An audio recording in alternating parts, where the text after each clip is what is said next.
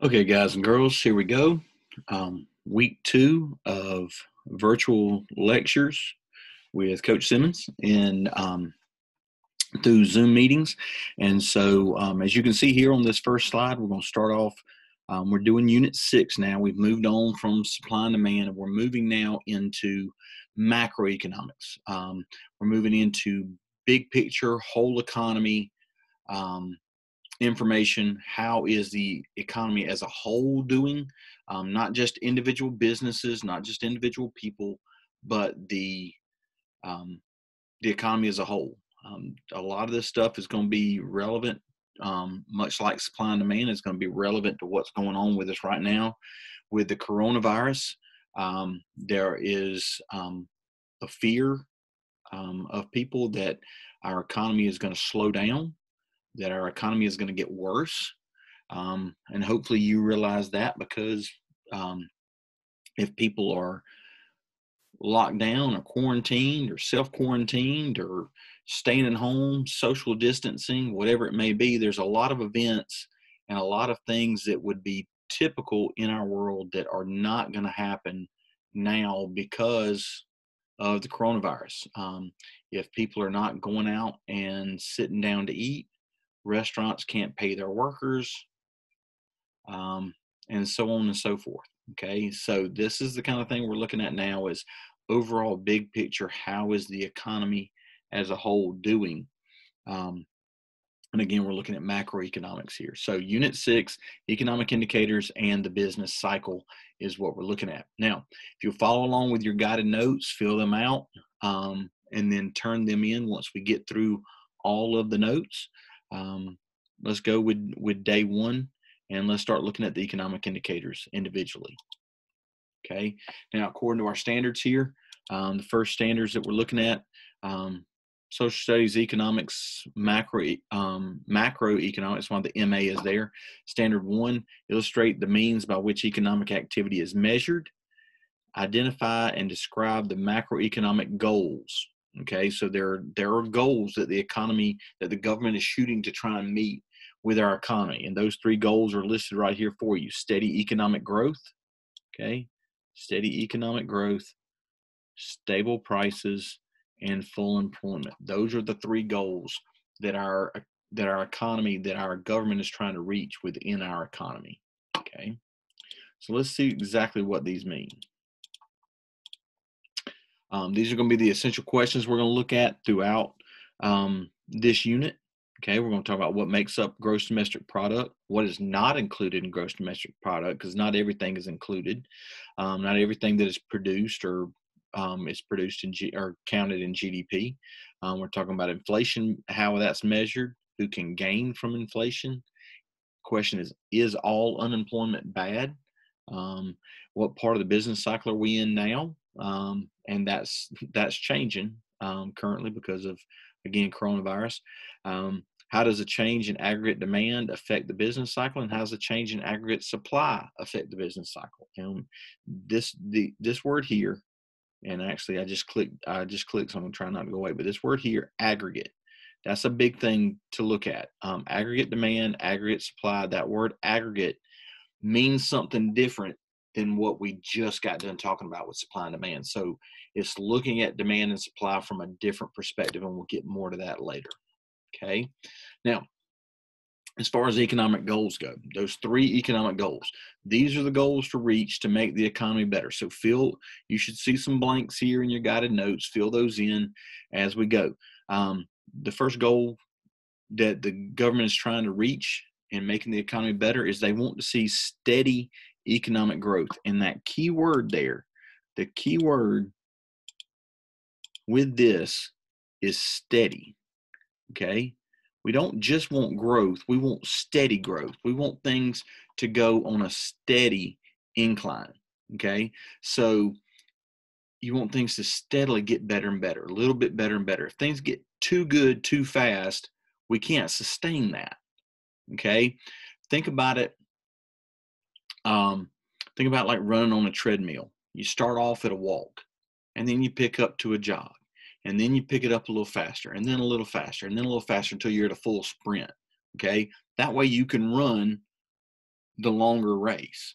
If you sprint right from the very beginning, you're not going to be able to sustain that speed for the entire race. Okay. Same thing when it comes to the economy. Slow and steady wins the race. Okay. So steady economic growth is the key word there because you're trying to as and what do we mean by that you're trying to raise the standard of living you're wanting people to have better lives you're wanting each next generation to have things better than the previous generation through technology to through new innovation through better options whether it's it's medicine or restaurants or you know consumer goods whatever it may be you want the next generation to have it better than the previous generation that's that steady economic growth that you want um, and then from there um, when it comes to prices, you want prices to be stable. Okay. You want prices to be stable here. Um, that's the key word when it comes to prices. Again, prices are going to rise, prices are going to fall, but you just don't want drastic changes. Okay. You don't want you don't want up and down like this. You want that steady flow here. So it's a lot more a lot more stable, a lot easier to handle, and to know what's coming. Um, you want people to know. That's one of the biggest things that that puts fear into people right now, is that people are worried about, you know, can um, can we maintain, you know, things the way they are? That's and that's always the case. Um, you got to worry about, you know, people want to know what they're going to have to pay for things. If prices jump up or prices drop, especially if prices jump up, people may or may not be able to adjust their spending accordingly. And then finally, you want full employment. Full employment. And and I'll tell you this, go ahead and tell you this right now. Full employment is not 100%. Okay? It is not 100. Because you know, people want to think people think the word full and they say, "Oh, well everybody's got a job." No. Um that's not possible. We'll talk more about that later what actual full employment is. But the key to full employment is you want people working so they have money to spend. Um, right now, um, Congress is debating over a stimulus package to get money to people in America, um, get money into people's hands because, again, nobody, most people have cut way down on their spending. People are staying at home. People aren't going out to eat. People aren't going out shopping. People aren't going to sporting events. People aren't going to all these different things. And so there's been a, a lot of money that's been taken out of the flow of the economy a lot of money that's been taken out of the circular flow. That money's no longer flowing in that circular flow anymore. And so the government's trying to energize the economy by putting money into people's hands because if you'll stop and think about it for a minute, anytime you put money into people's hands, it immediately starts burning a hole in their pocket and they want to spend it. Okay. So full employment you want people working so they have money to spend because the key thing with all three of these economic goals is people spending money. Okay? That is the key thing is people spending money. The more money people spend, the better the economy typically gets. Okay? That circular flow can't keep going unless money is involved and money is being spent. Okay? Now, how do we know how the economy is doing? Um, that would be what we call our economic indicators. Okay, these are the things um, our economic indicators tell you how the economy is doing and if it needs help. Okay, um, okay, so it tells you how the economy is doing and if it needs help. Um, you see all these pictures over here to the side, right over here. These are all indicator lights from a car. And when you get in a car and you crank it up, all these things, all these symbols light up on the dashboard. And then if everything is running the way it's supposed to, those lights go away. But if something is wrong with the car and your car needs help, beep, beep, beep, these things all light up. Um, whatever's wrong gets lit up so that you know that something has happened happening that's not supposed to. Okay, or you need to be aware that this is happening because it may have an effect on something else. Okay, so these are all called indicator lights. Well, we have indicator lights for our economy, and those indicator lights are GDP, the inflation rate, and the unemployment rate. These are the three things that we use as indicators of how our economy is currently doing. The one we're going to look at today, first and foremost, is GDP. Okay.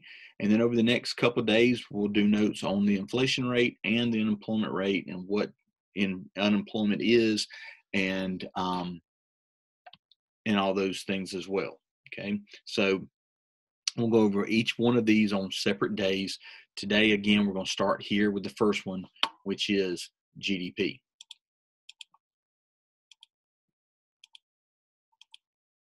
Okay, so what is that? What what does our standard look for here? Um, says that you need to be able to define gross domestic product as the sum of consumer spending, investment, government spending, and net exports. So we're going to look at individually what are these four things that make up gross domestic product. And then we're also going to define real GDP. What is real GDP? Um, there are multiple types of GDP. If you um, look up GDP. Um, if you Google it, you'll get real GDP, you'll get nominal GDP, you'll get GDP per capita, real GDP per capita, um, and and uh, and several others. Um, the ones we're focusing on is what GDP is in general and what real GDP is. Now, so what is GDP as a whole? GDP is a measure of spending and activity in the economy. In other words, GDP is trying to see how much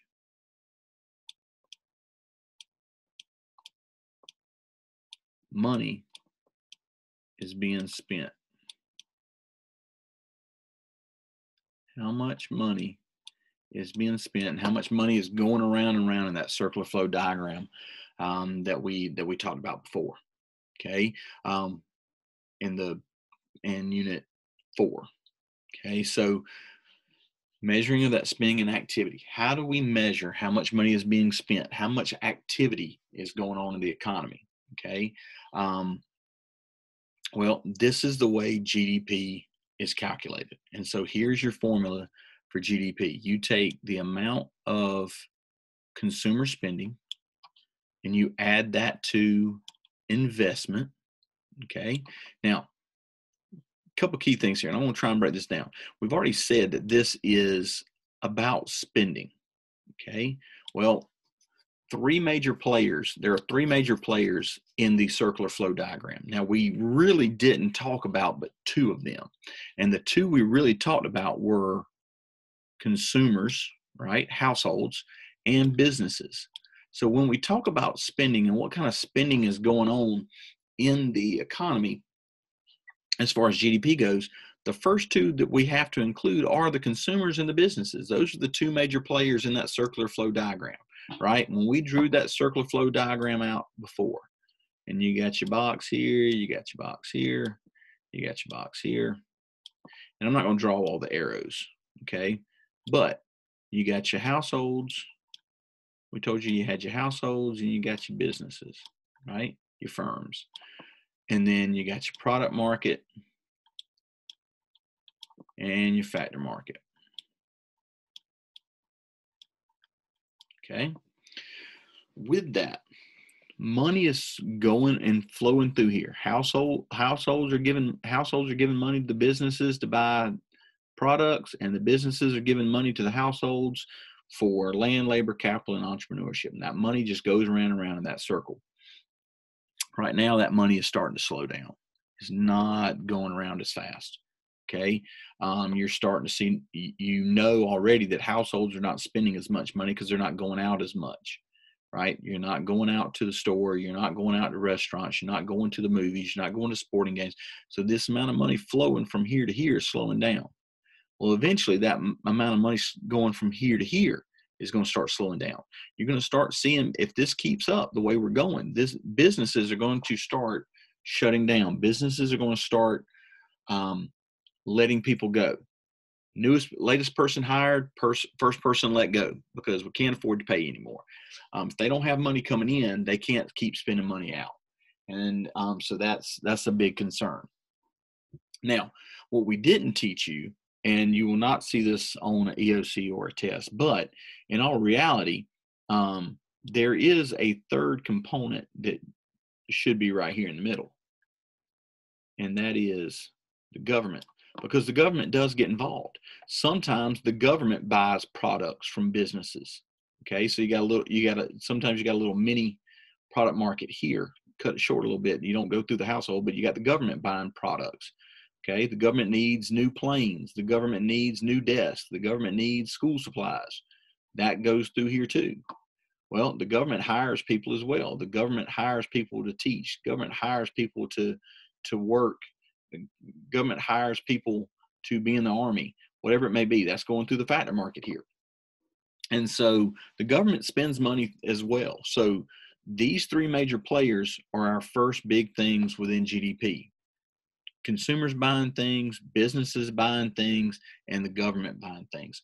Um, and then the final part here is what we call net exports. And understand, net exports is simply exports minus imports. These two net exports is this right here. This is how you find net exports. You take the amount of exports minus imports. And we'll talk more about that later. Now you can write it all out one big long formula as you see here, or you can abbreviate it. GDP is Y, consumer spending, business investment, government spending, exports minus imports. Okay. Now, what part of this equation is typically negative for the for the United States? This part right here. Okay? Because imports is usually greater than exports.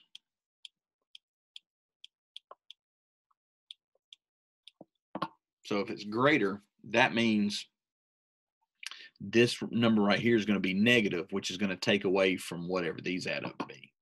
Okay, doesn't necessarily mean the whole thing is going to be negative, but this number will not be as high because this is going to take away from all of these here. Okay.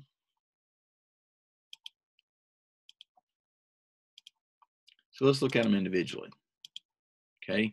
As we said, consumption consumption is spending by by households on goods and services so when you go to you go to mcdonald's and you buy breakfast or lunch or dinner or whatever um, that spending is considered consumption that goes into gdp as you spending money on something when you go to walmart when you go buy a new truck when you go buy new shoes when you buy new headphones or a new phone or whatever you may buy. Okay.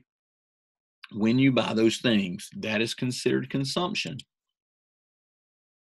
Okay. That is con- considered consumption because it is spending by households on goods and services.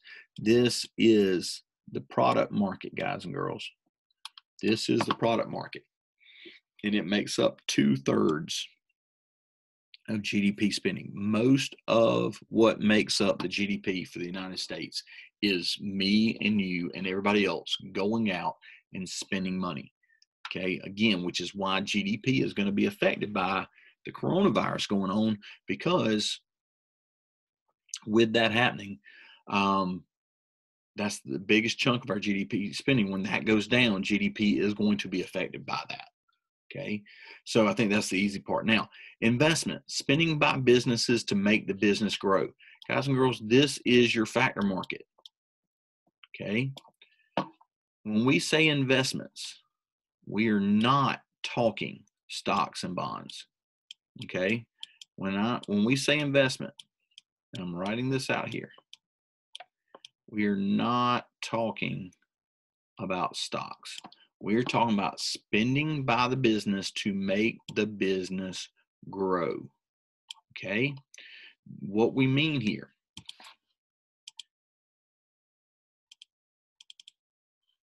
and see if I can get this.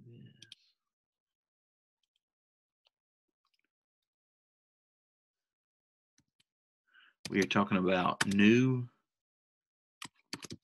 employees, hiring, hiring new employees. We're talking about um, new stores. Okay, we're talking about renovation. Okay, um, that's what we mean when we say that the businesses the businesses are spending to make the business grow. Did they open a new location? Did they renovate the place? Did they hire more people? Did they buy new machines? Did they buy new equipment? Did they invest in some new technology? That is investment. Okay, that is how businesses grow, and that growth puts money into the economy because when you hire new employees, you're now paying people to more people to come work. You're giving more people money to spend in the economy. When you build new stores, when you renovate stores, when you buy new tables and chairs, you change your look, you change your layout. You are paying businesses to do that work. And therefore, then those the employees of that business benefit from it, get more money, spend that money back into the economy. Okay. So know the difference when we say investment here. When we talk about investment as far as GDP goes, we're not talking stocks and bonds. We're not talking about that. We're talking about we're not talking about investment in the business by outside people. We're talking about the business putting its own money into making that business grow. Okay, make sure you understand that.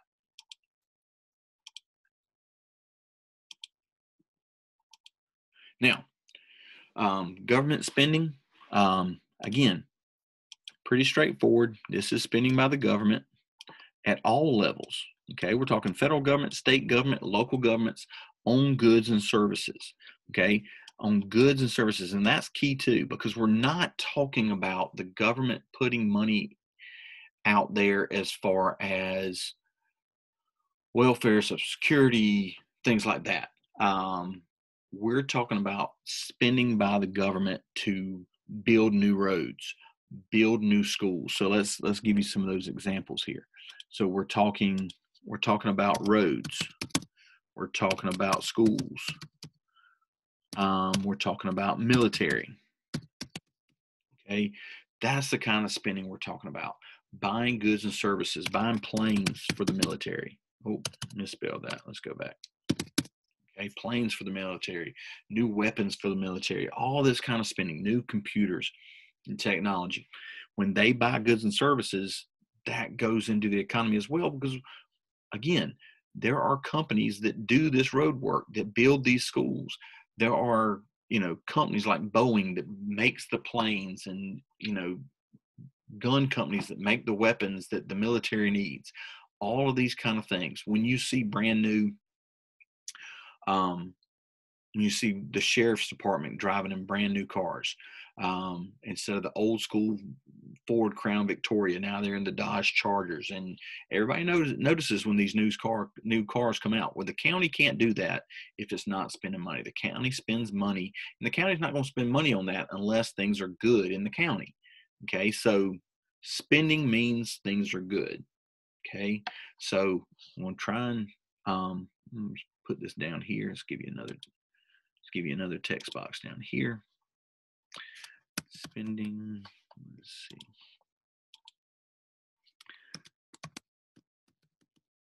Spending is good.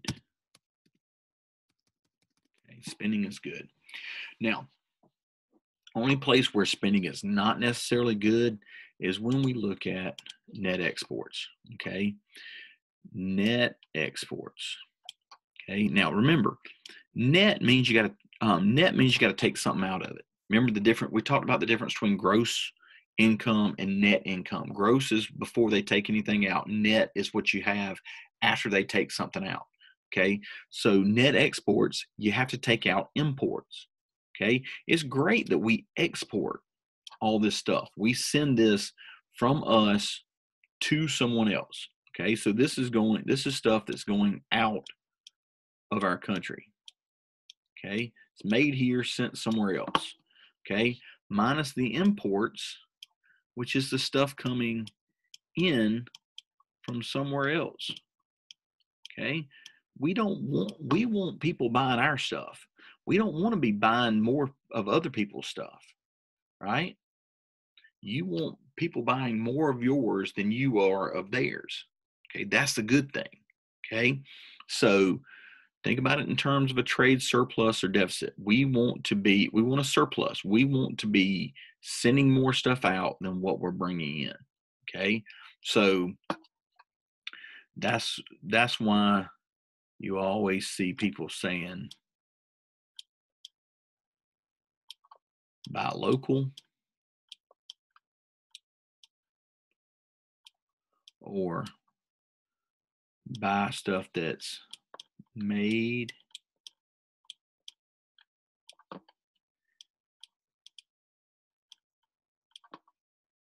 in the USA.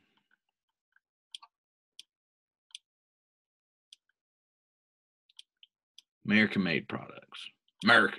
That's what you want when it comes to when it comes to exports and imports. Okay. Um, that's what we're looking for. Okay. We want their, them buying our stuff, not us buying their stuff. Okay. And again, this is typically what is negative for um, for our GDP as a whole. Okay. Now, what is real GDP? When you're comparing GDP from one year to another, okay, how did we how much did we produce last year? How much we producing this year? How much did we spend last year? How much we spending this year? Um, real gdp okay? Real gdp gives you a real idea or a real picture of price changes because it takes inflation into account okay um, and I'm going to try and give you a little explanation with this that you see down here. Okay. Um, for right now, ignore this part in the middle. Here's the basic thing you want you want to look at. Look at the difference from from year to year. Okay. Nominal GDP is just straight numbers. Okay. Just straight numbers. Real GDP takes inflation into account. Okay. So one takes inflation into account, the other one does not. Okay. Um, this is where you start to think about um, how much things truly cost. Because if you look here, nominal GDP just looks at the numbers. Um, you're looking in billions of dollars, but let's just look at it. So we're looking at nine, we're looking at nine eight, 9.8, we're looking at 10.9, and we're looking at 13.3. Okay. So I'm just trying to, we could do it in billions and all this kind of stuff, but if you really just focus on the, the, the numbers at the, at the beginning here, you can see the difference. Okay. 9, 8, 10, 9, 13, 3. Okay. As you look, it looks like there's a big, huge growth here from year to year. You go from 9, 8 to 10.9, that's one, one, one difference, right? So 9, 8 plus 1, 1 would give you 10.9. Okay. Then you go from 10.9 to 13.3, that's what? That would be 2, 4, right? So 2, 4 man, look, from year to year here, from 2000, 2003, 2003, 2006, we're growing like crazy. Okay. That's just looking at the numbers. The problem is, you guys know, if you really think about it, you guys know that over this six year span, prices are going to change. Gas does not cost what it did. Well, actually, right now, that's a bad example. Um, most things do not cost now what they did a few years ago. Prices slowly creep up burgers cost a little more, milk costs a little more, cereal costs a little more, clothes cost a little more. Okay. Um, and at, over time, as these prices go up, you're going to see that. Okay. The question is, are we really seeing as big a difference in spending as we think? Are we spending more? Are we buying more? Or are we just spending more money? You see the difference there? Are we buying more stuff or are we spending more money? if inflation kicks in, if prices go up, you can spend more money buying the same amount of stuff. So real GDP takes that inflation into account over here. Okay. So you look at it in constant $2,000. In other words, these numbers for 2003 and 2006 are based on the prices of the year 2000. These over here nominal or not. These are based on 2003 and 2006 price, prices. That's why you don't see as big a jump. You go from 9.8 to 10.3. You don't even have a full um, jump here. You're only looking at a point, point 0.5 jump. Instead of one, one, one, we only jumped half a one, right? And then from 10.3 to 11.4, we only jumped at 1.1, not 2.4. So did did GDP increase? Yes. Did it increase as much as we thought it did over here? No. Okay. So the key thing is it's called real GDP because it gives you the real idea of how much prices prices have risen. Okay, real GDP gives you a better idea. Um, so it it levels things out a little bit and takes things into consideration. Okay.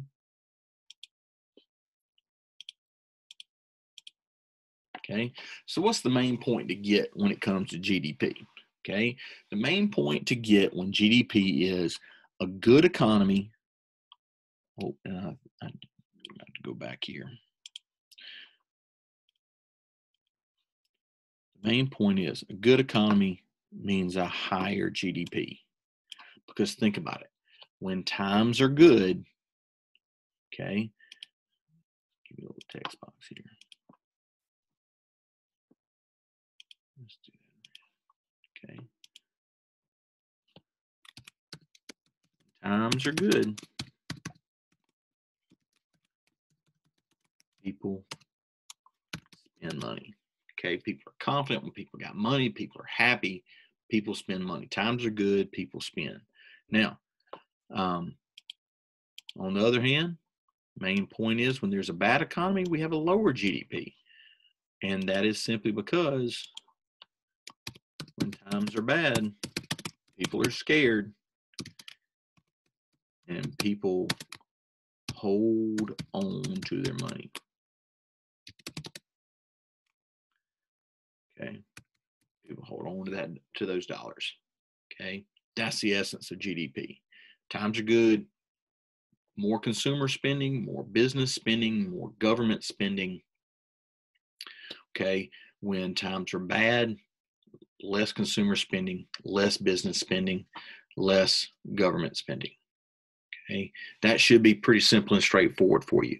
But that's that's your notes for um, day seven. Okay, on covering GDP. Now, um, the next um, today with that, that's going to be it for your guided notes. So you can stop there on your guided notes for today. But um, I'm go ahead and give you an idea of what your assignment is going to be for today. Okay. Um, along with these guided notes for you to fill out should be posted for you. This assignment here. Okay. The GDP components activity. Now I'm to give you a little explanation of what you're doing here. These are your the the different things, the components that make up GDP that we just talked about: consumption, investment, business investment, remember that, government spending, exports, and imports. And then you have links here to five different articles. You need to click on the article, click on the link, read the article, and then in this box here, you simply need to type in what is happening in this area of GDP. Is it increasing or is it decreasing? So, according to this, is consumption increasing or is it consumption decreasing? Why do you think that? Give examples from the article of why you feel like that consumption is increasing or decreasing. Read this article here about business investment. Then answer here is business investment increasing or decreasing and why? Very simple, very straightforward assignment um, on this one, guys and girls. Um, read the five articles, explain to us what's going on. Is consumption, investment, government spending, exports or imports increasing or decreasing? And give me, give us why that is happening according to examples from the article that you're reading. Okay. Now, as always, um, with these assignments, um, if there are questions, you can email, you can post a comment on Google Classroom, or um, send us an email, um, ask for a Zoom conference. We have those available as well.